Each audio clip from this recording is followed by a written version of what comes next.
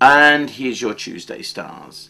So much going on at the moment, and especially reflected through Mars. When in fact Mars doesn't reflect, he just gets on with things. And that's what you need to do, but you also need to be very careful. Is it your health or someone else's health around you? Because you need to be strong and you need to be vital to do the things you want to do. Don't burn the midnight oil if you need to rest. Your vitality comes with Mars Jupiter, there's no doubt.